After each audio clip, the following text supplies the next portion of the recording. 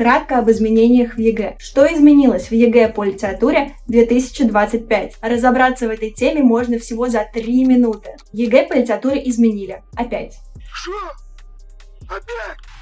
Нововведения обещают сделать экзамен, как ни странно, более простым. Привет, меня зовут Оксана, и я преподаватель литературы в онлайн-школе Турбо. И я периодически перечитываю «Войну и мир». Ты что, с ума сошел?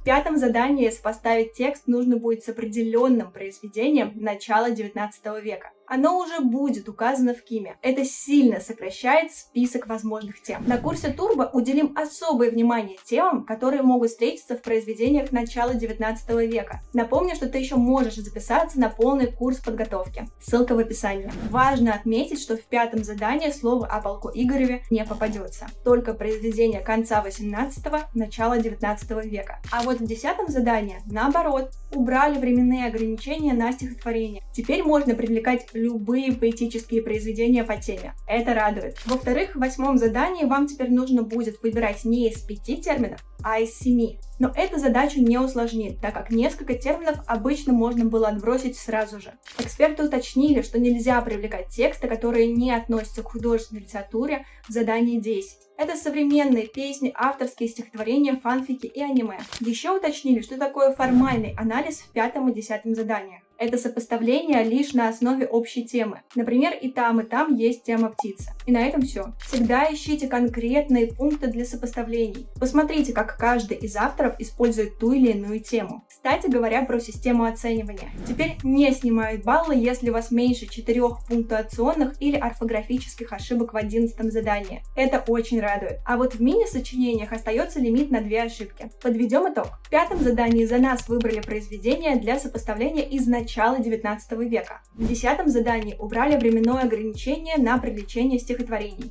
Формальный анализ – это сопоставление, ограничивающееся тем, что в обоих произведениях одна тема. В одиннадцатом сочинении можно допустить до четырех орфографических или пунктуационных ошибок без потери баллов. Так что могу только порадоваться за выпускников этого года. Удачи вам, ребята!